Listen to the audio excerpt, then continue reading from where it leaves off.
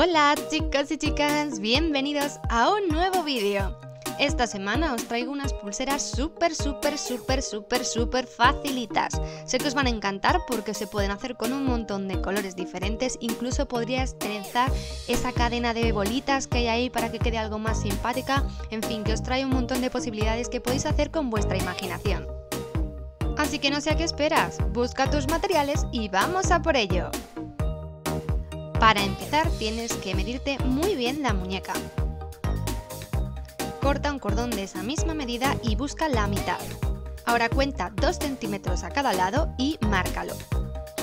Ahora corta unos 25 centímetros de hilo de macramé y tienes que anudarlo sobre la primera marquita que tengas. Aprieta bien fuerte. Corta el exceso que tengas y quémalo un poquito para que no se deshilache.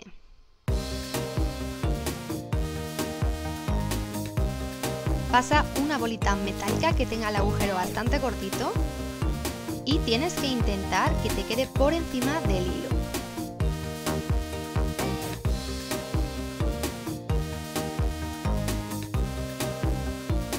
Y ahora tienes que ir enrollando ese hilo hasta la segunda marquita. No hace falta que te diga que este enrollado tiene que quedarte lo más apretadito y lo más curioso posible, es decir, intenta que no se monten los cordones. Algo que te puede facilitar mucho la vida es que agarres este cordón a algún otro sitio con una pinza o alguna cosa para que este enrollado te sea más sencillo. Y cuando lo tengas tan solo tienes que terminar con otro nudo. Solamente un nudo, es un nudo simple, el que hacemos en los zapatos y como ves hay que apretarlo bien. Y si ves que se te queda separado, pues lo juntas. Quema el exceso. Y ahora tienes que meter otra bolita y recuerda, tiene que quedarte por encima del hilo. Por encima del nudo, mejor dicho. Corta tres trocitos de cadena de la misma medida que el cordón que tenemos y mira, para que te sea mucho más sencillo tienes que poner un poquito de cinta adhesiva para sujetarlas, porque si no va a ser un poco complicado. En mi caso es cinta de carrocero que se quita súper bien y además no, no deja marcas ni es pegajosa.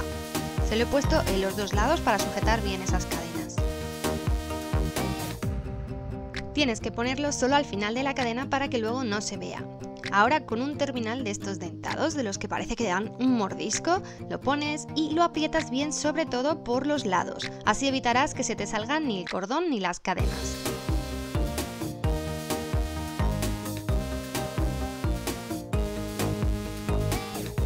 Por supuestísimo ponemos otro en el otro lado, igual lo apretamos muy muy bien, se podría poner incluso un poco de pegamento.